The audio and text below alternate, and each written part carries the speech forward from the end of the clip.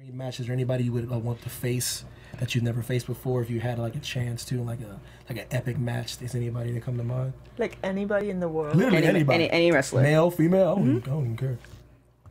Oh goodness. Yeah, see, Oh. I, I keep that's that hard hitting stuff right there. That's that Diane Sawyer right there. I think that you stole my question from last week. I mean, Did you ask that? Did you ask that question? I sure did. Well, holla at your boy for stealing it. But I mean, I guess it would have to be the same answer as always, which would be uh, Kevin Nash.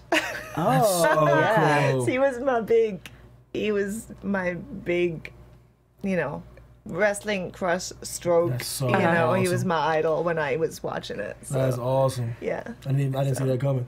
Now, well, That's interesting. that is interesting, but I'm thinking of somebody that I'm trying not to like go like insult. I'm thinking of somebody that because you are like wrestling now. Kevin Nash Right. is not Right, really- you mean like somebody that Yeah, I could like- have like a competitive, yeah, strong match yeah. with.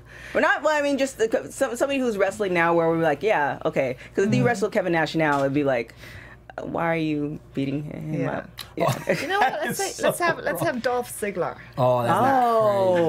Crazy. That'd be crazy. But he might be. So you have you worked with him, or have you like? Do you like know him? Because he's out here often. That'd be crazy. He seems like he's down for the polyamorous type stuff too. I didn't mean it like that. Yeah, You mean it like asked me that. that. Now, now Yes. he's, uh, Yes, he, about he to was marrying you off. I was just. Nah, listen, nah. I thought we talked about wrestling. Yeah. I mean, I can't be both? Conversation. Yo, Ziggy, listen, we talking about wrestling, bro. Why can't it be both? I'm just. I'm,